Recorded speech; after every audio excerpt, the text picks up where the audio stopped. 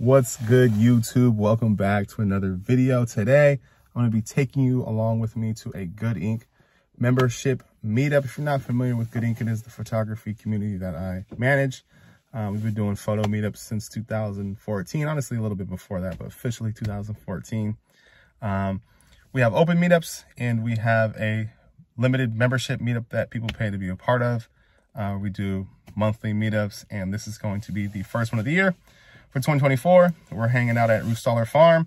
Uh, so you'll be able to just see kind of what it looks like at a membership meetup. A little bit behind the scenes of uh, what we typically do. Usually it's just a bunch of photographers, models.